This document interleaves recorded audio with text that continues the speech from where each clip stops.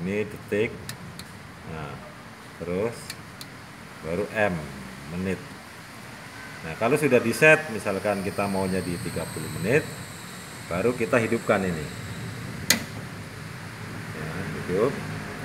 Kemudian ke depan sini. Ini kalau untuk satu orang itu cukup pakai 20% ini kita putar ya. Putar ke kanan. Ini 20% di sini nih. 20 dipasin ya. Kalau ini untuk mematikan mendadak gitu. Hidupkan lagi. Nah jadi kalau mau menggunakan eh, akan digunakan satu orang pakai 20% keluaran gas HO nya di sini jadi kita pasang dulu eh, selangnya ini selang nasalnya ya. Ini pakai tangan dua kita putar. Supaya masuk karena ini harus ditahan kalau kita mau masukkan ini ya. Kita pegang ini yang kuat baru ini kita dorong seperti ini. Nah baru yang ini ini ya itu dimasukkan ke hidung dengan cara coba ke sini. Dengan cara ini selangnya eh, ke belakang seperti ini ya. kemudian seperti kita mau pakai kesamatan nah ini kemudian ini masukkan ke hidung ini dimasukkan ke sini kemudian di sini ada eh, yang buat penguncinya ya tarik supaya tidak terlepas. Ini cukup 20% untuk satu orang.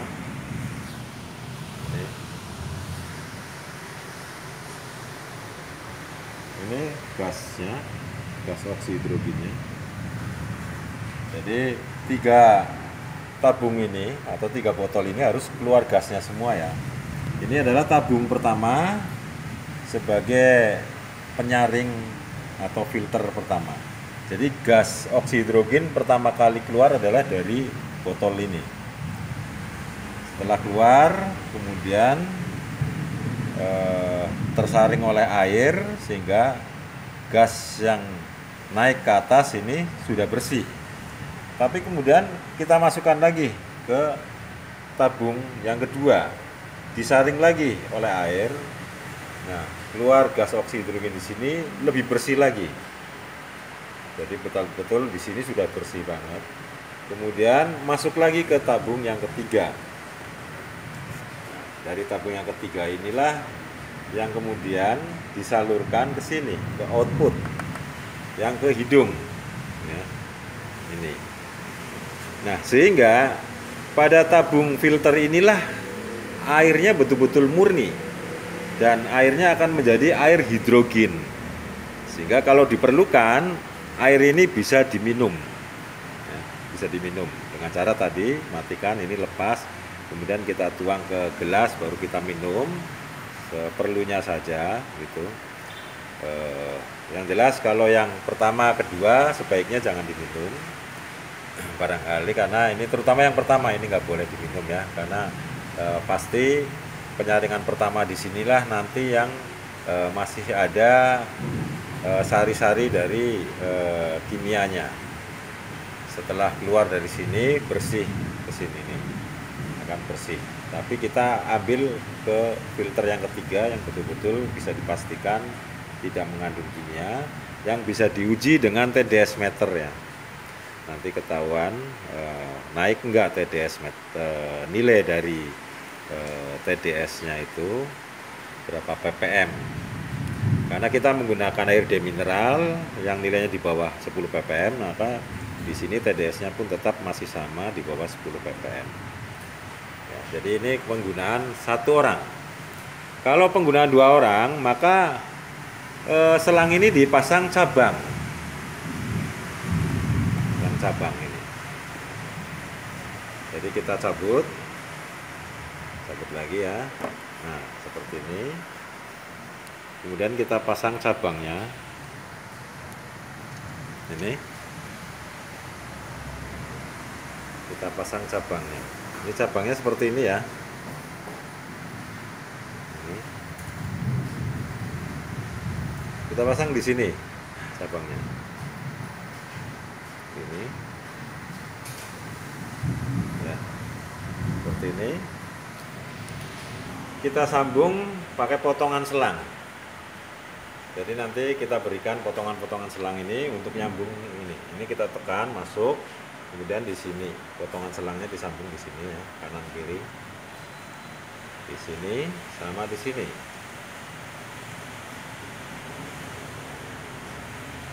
Nah kemudian selang nasal inilah yang dipasang di sebelah kanan.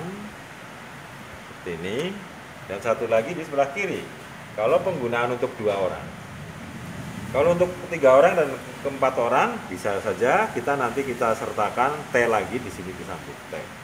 Jadi akan nyabang menjadi dua sehingga menjadi tiga.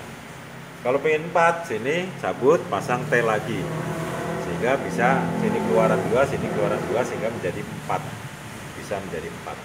Jadi nanti akan kita sertakan e, T ini tiga untuk di sini nanti satu dua tiga sehingga bisa maksimal empat orang. Seperti itu ya. Kalau ini settingan untuk dua orang. Nah kalau dua orang itu settingan di sini berbeda. Ini kita cabut lagi.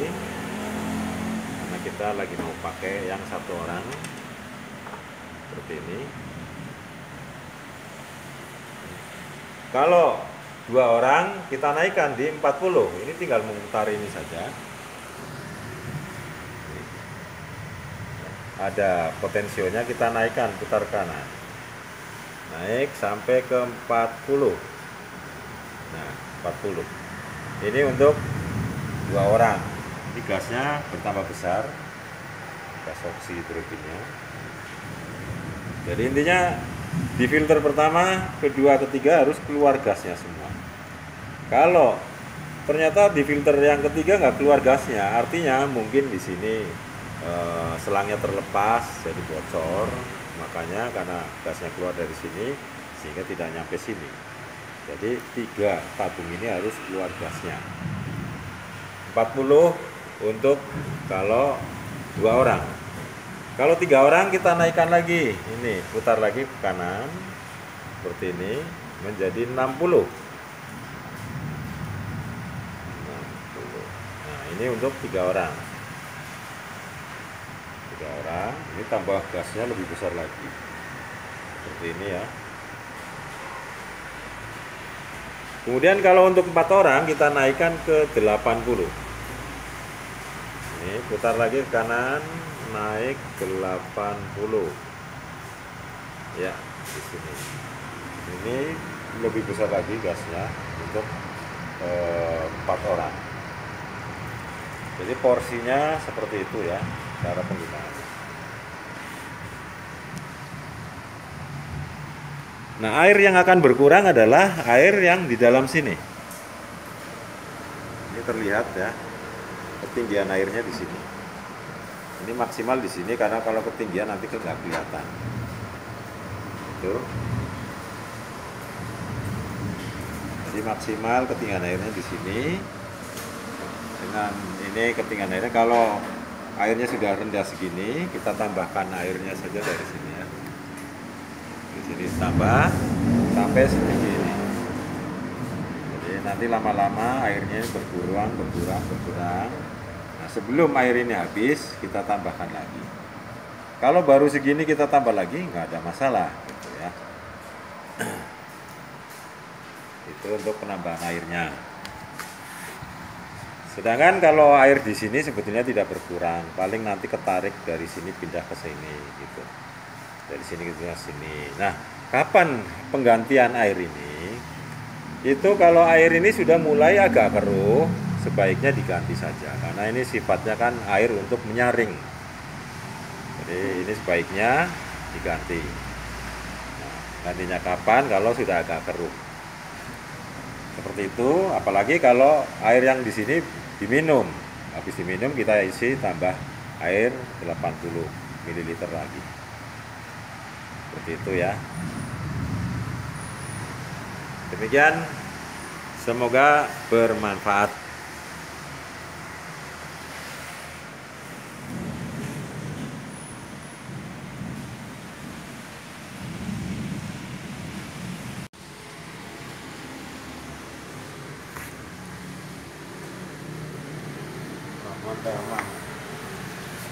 Ini mau dikirim ke Makassar.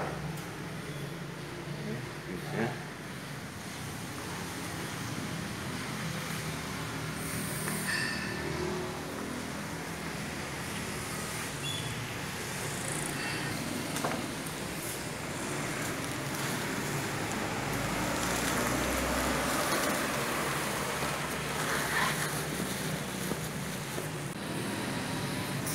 Ini perlengkapannya. Ada cabang atau fitting T ada tiga. Fitting T ada tiga. Untuk bisa mencabang empat orang. Kemudian ini selang penghubungnya ada enam. Kemudian dilengkapi dengan corong untuk mengisi cairan KOH dan disediakan ada selang nasal sebanyak 4 jadi bisa untuk 4 orang ini. Satu dua tiga empat